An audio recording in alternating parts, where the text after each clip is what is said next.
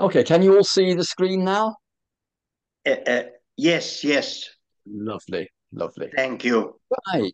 Thank you, ladies and gentlemen. Um, I want to look at a development that has happened in the last, literally the last two weeks.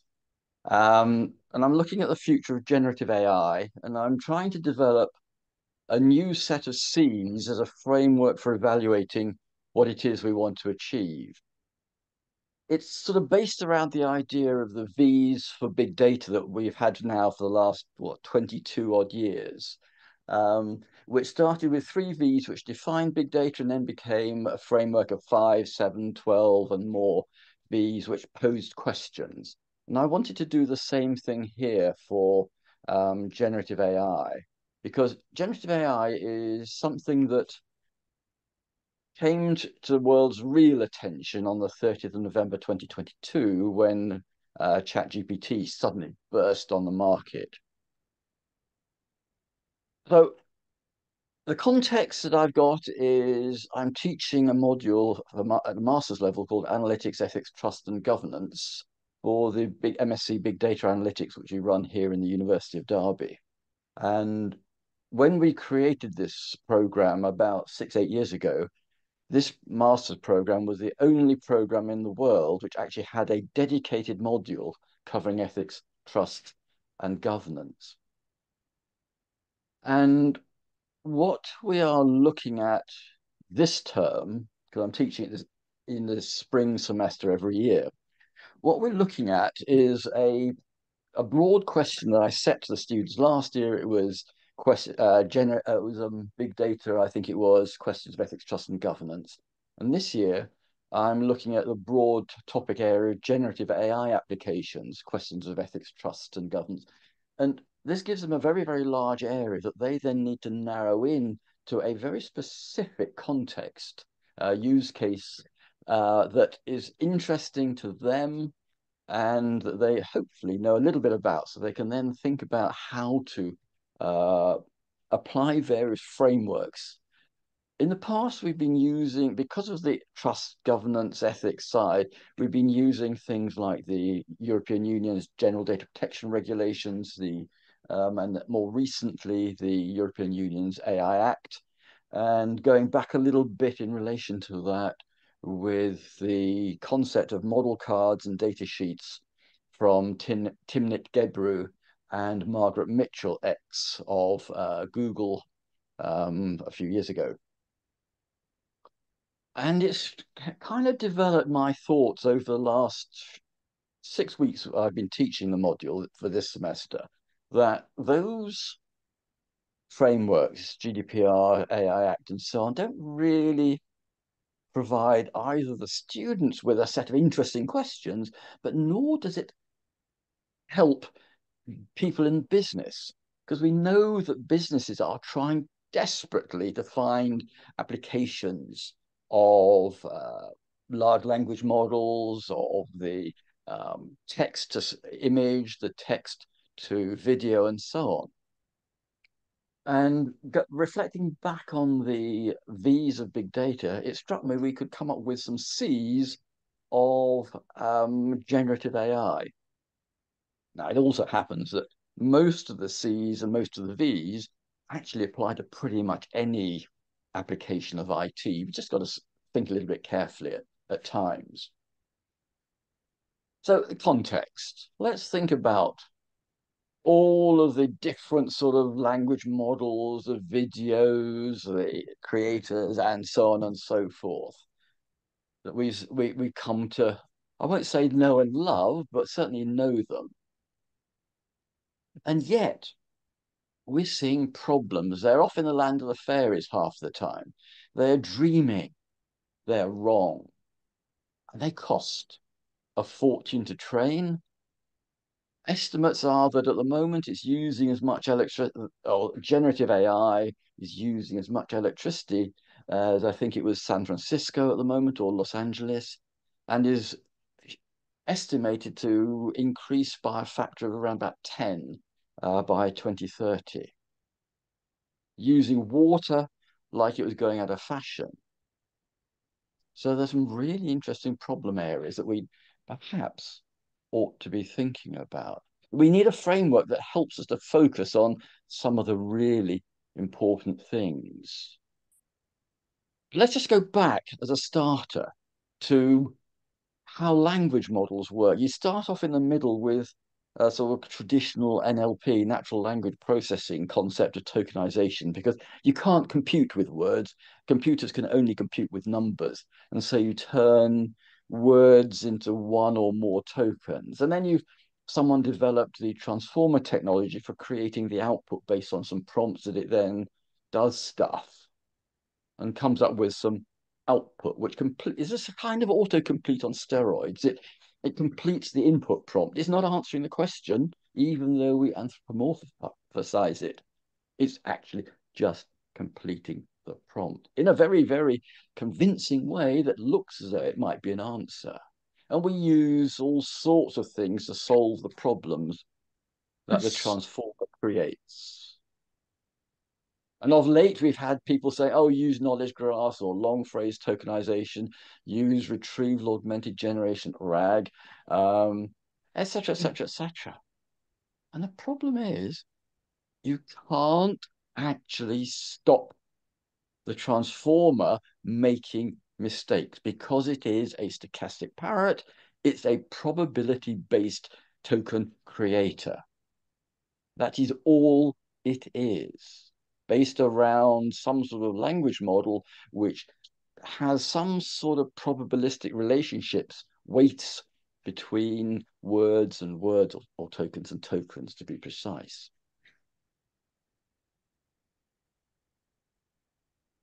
And even, and I do this with my own CV because I know my CV, and we can all do this test.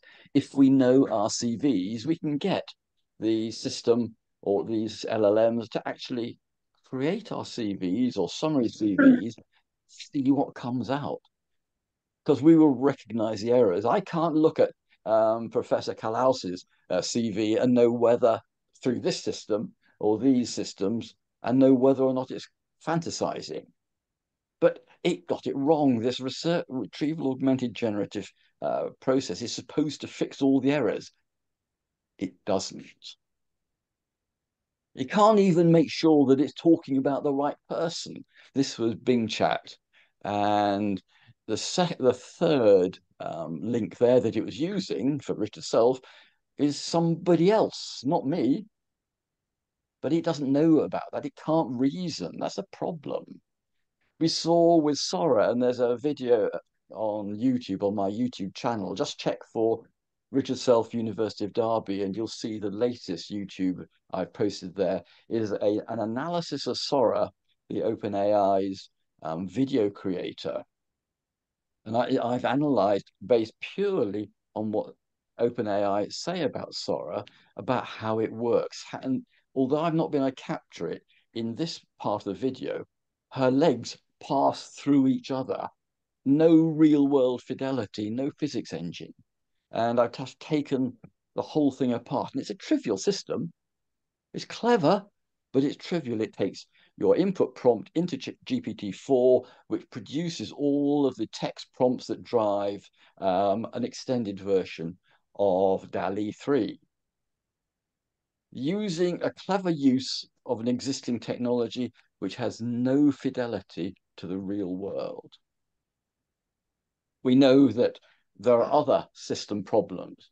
These were the responses of Gemini, the Google machine, to produce me pictures of Vikings. And we know historically there were no black Vikings, period. Just didn't happen. No real world uh, fidelity, wokeness here on this one. And we know about the stories of please produce me a picture of a black doctor treating white children. It will the, all of the video uh, image generation systems will fail to do that. Where they will always give you a picture of a white man treating black children. What's interesting, and I did this very, very briefly, was to, based on some thoughts from one of my students, was what happens if you change a single word in your input question and input prompt. And the first and the third, I've just changed process to mechanism because in common parlance, they're pretty much the same in terms of those questions. Okay, so process is recipe, mechanism is kind of mechanics, tools, but it was interesting to see what happened. It, and the, the reason for this was thinking about education, particularly of younger children. But the challenge for you is at the bottom. Just find three questions that are all ident- pretty much identical in the way that humans think and see what the machines come up with. So in there are very many areas where we're worried about trust. How much are we interested in accuracy, consistency, completeness?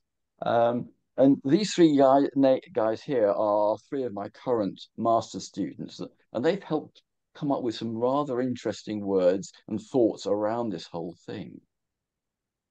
We need to think a little bit about as we go into all the sort of general uses of these tools. Are they specialist or general purpose? And we'll come to that in the, towards the end. And then we need to be thinking about where do we go in the future? Is Sam Altman correct about his ideas of scaling to artificial general intelligence? Who knows? Some of the questions that are coming up in a few minutes are very much going to help us to think about is AGI feasible based on current pure LLM technology, or do we need something completely new? Because what we want to ask ourselves is, as a business, as an organization, as academics, as and so on, is generative AI suitable for my situation? But you know, how do I know what are the questions I really, really ought to be asking myself? Do we have a problem? I don't Pardon? Oh, you're right when it works. Oh, uh, Risa. Uh, Dr. Blair, you have your audio open, so your microphone. So we need to be thinking about as we in business about ethics we need to be thinking about trust we you know we think we know that we have a load of uh, questions about is ethical AI feasible? Uh, can AI be taught ethics? And so on. We need to be thinking of as we go into using our AI tools, as we have done with all forms of IT technology over many, what happened to them? Nobody's going to touch them. Pardon? Uh, Dr. Blair, you have your microphone open.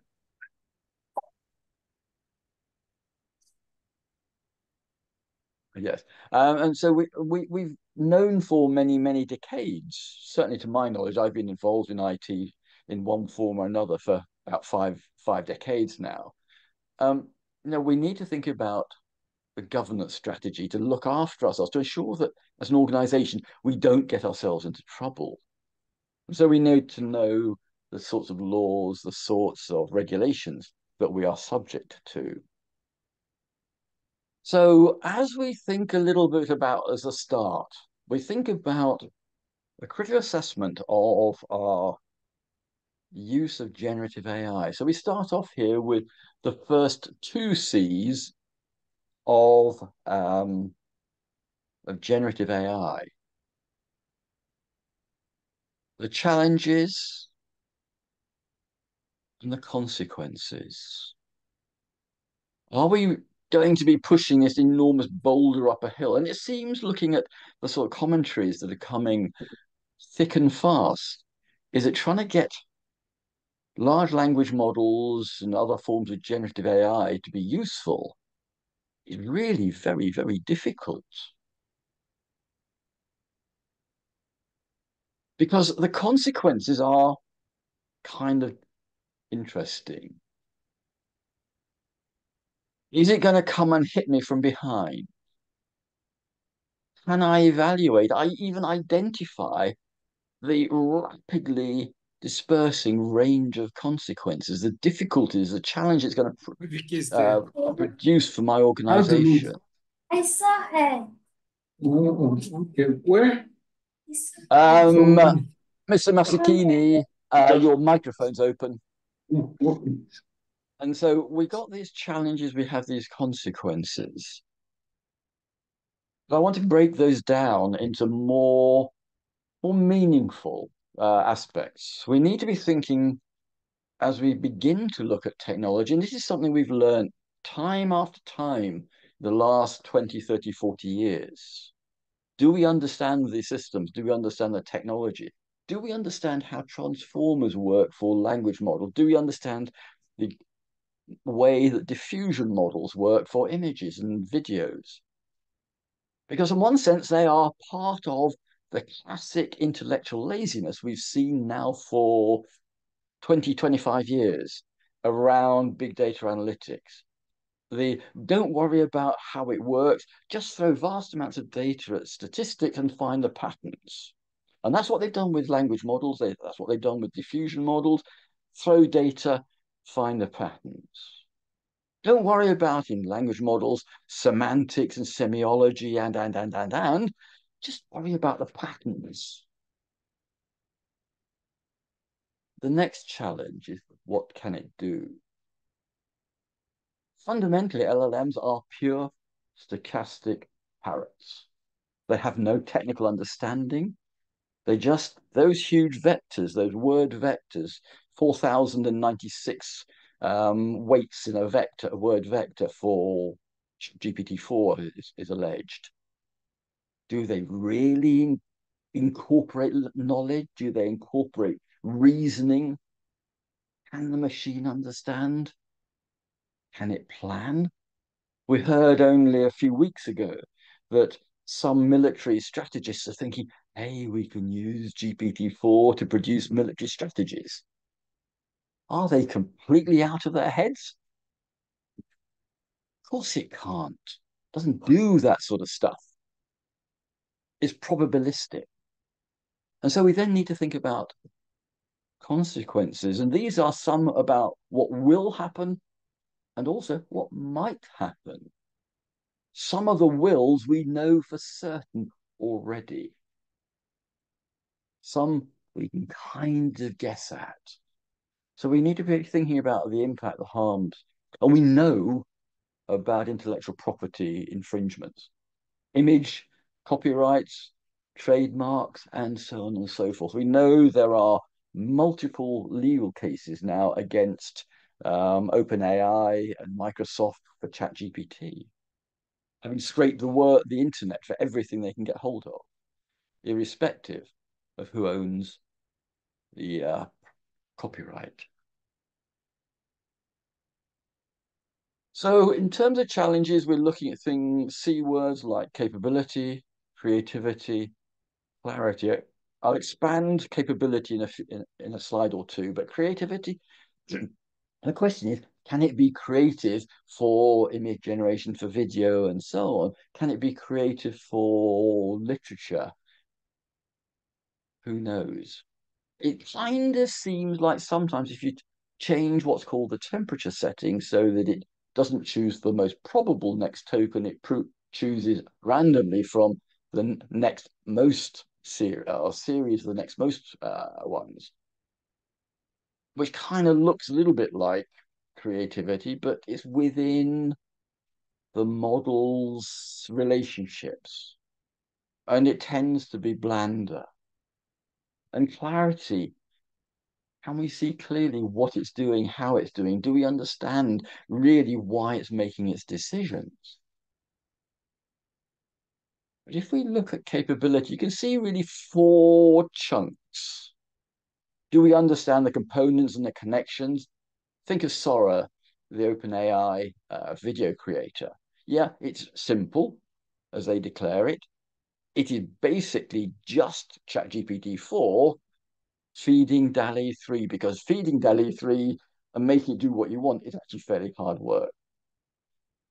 So they've kind of used GPT-4 to take your prompt and then do the prompt engineering to feed into DALL-E 3.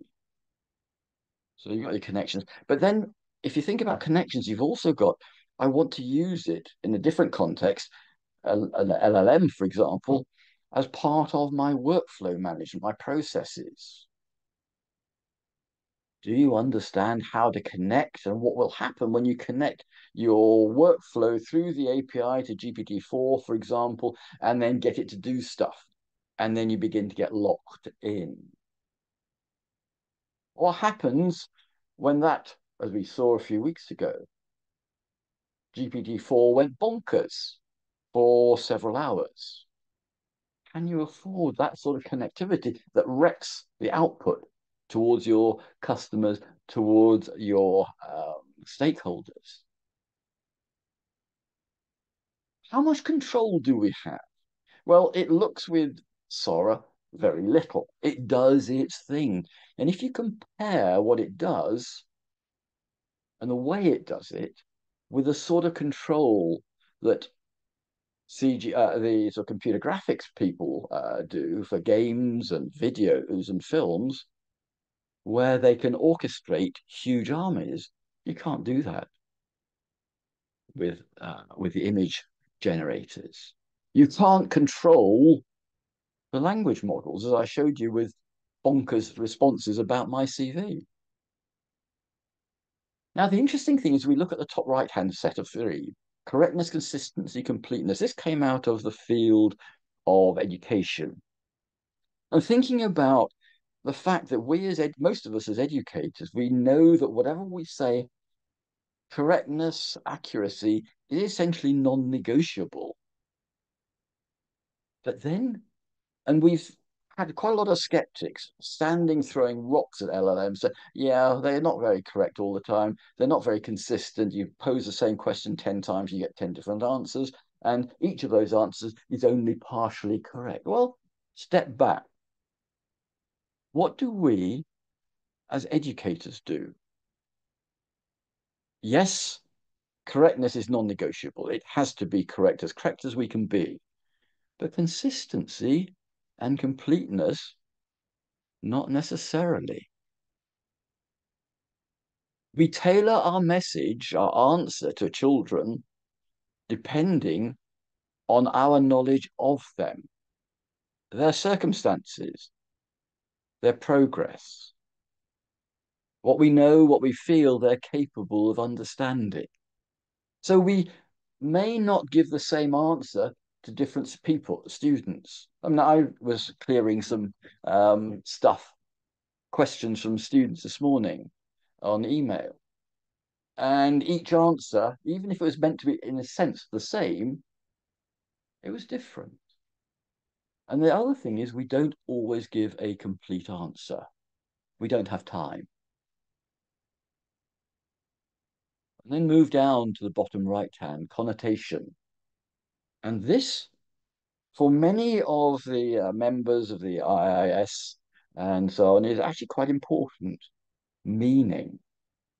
What do the symbols mean? What do the words mean? The symbology. Semiotic. How do we think that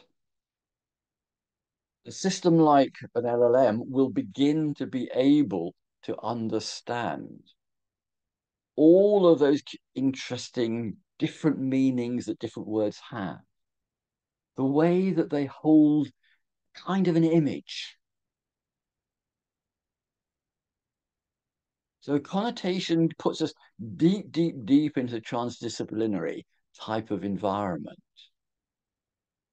But we need to think very carefully. And if we're using image generators in marketing, in retail, and LLMs, you have to think very carefully about that semiotic semi semiology because so much of that written um, marketing information, the brochure, and the images in the brochure are very, very heavily based on very interesting aspects, connotation. Do you understand it as a business, what you are getting yourself into? Then the consequences. Cost I've talked about. Competition is kind of interesting. Have we got one runner up at the front? Have we got a field around us. How much lock-in might we end up with uh, if something goes wrong? If, for example, OpenAI have to close down the whole GPT family because of copyright issues, what will happen to your business?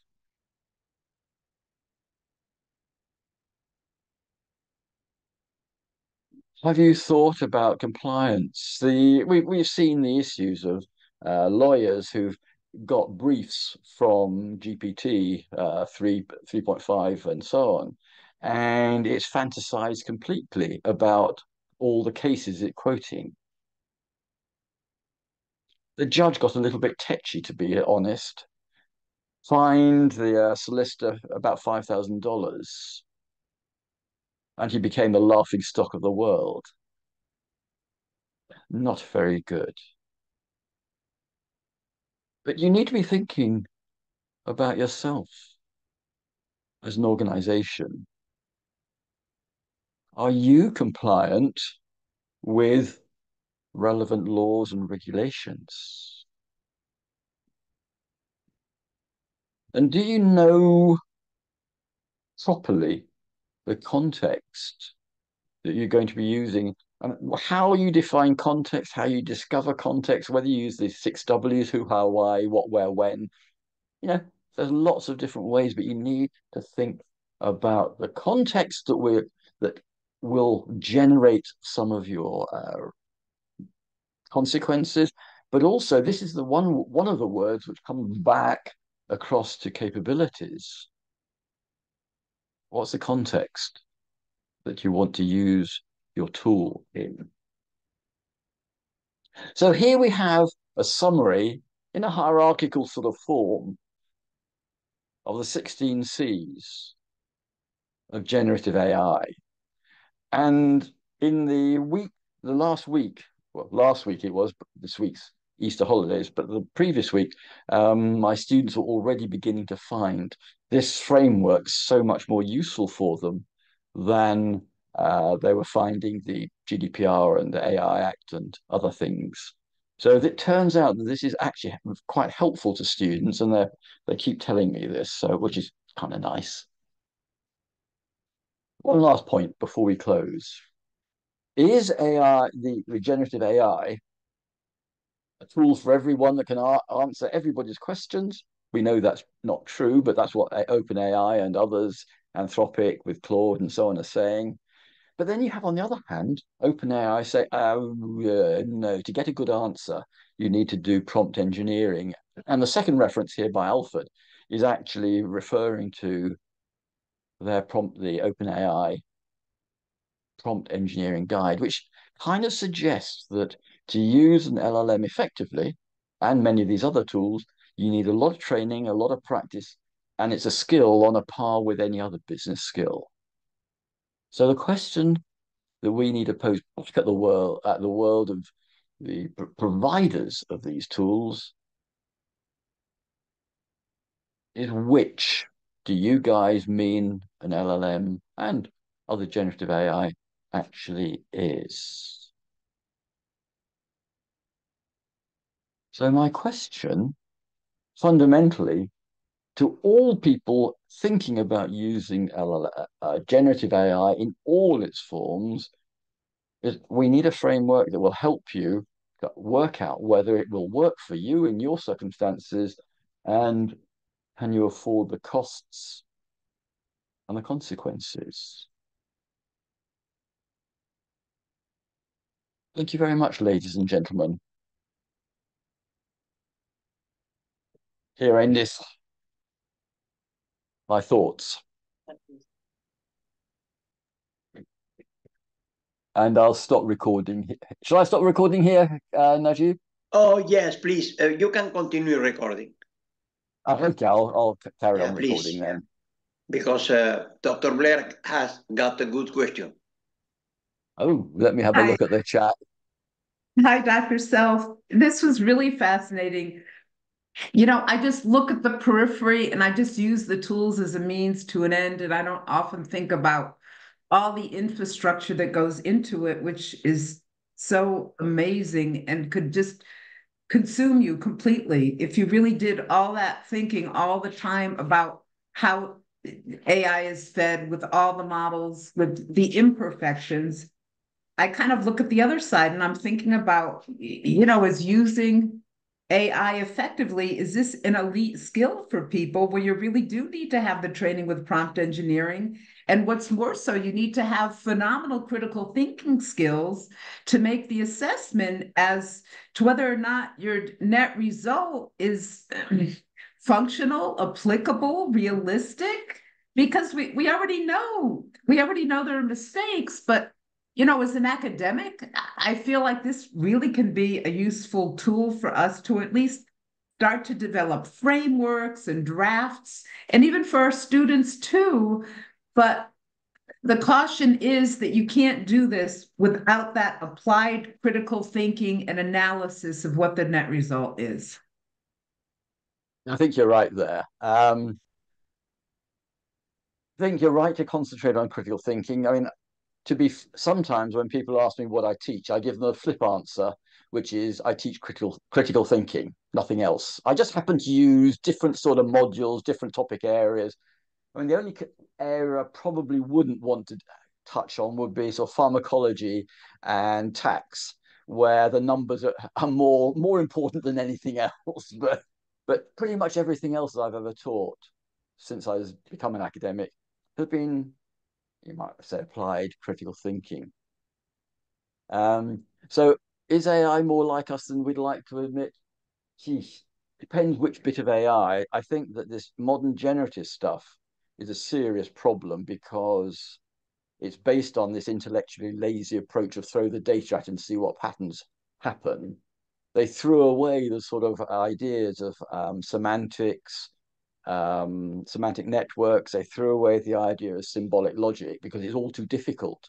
We we threw away in the 80s, 90s knowledge-based systems because they're non-scalable. They're too difficult to engineer, and so in the sort of 2010s, I guess, people started thinking, well, we've got traditional sort of what we called AI since 2002 or thereabouts, big data analytics um, which again is the intellectually lazy approach. to Throw data, large amounts of data at um, suitable statistics and uh, see what happens. And so I, I don't think what we've got at the moment is anything like humans.